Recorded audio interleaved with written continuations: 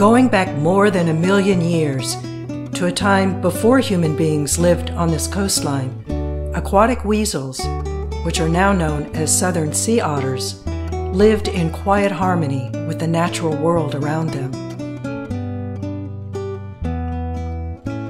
Contact with people greatly upset that balance. Sought after for their dense pelts, otters were nearly hunted to extinction in a span of less than 300 years. This is the story of their triumphant resurgence and a cautionary tale of the mounting perils they face today.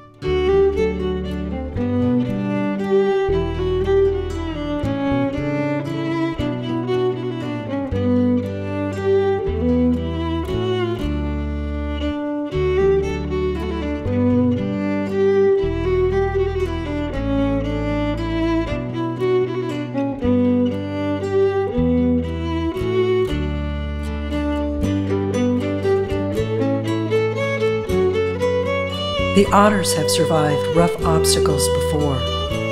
Where there's life, there's still hope.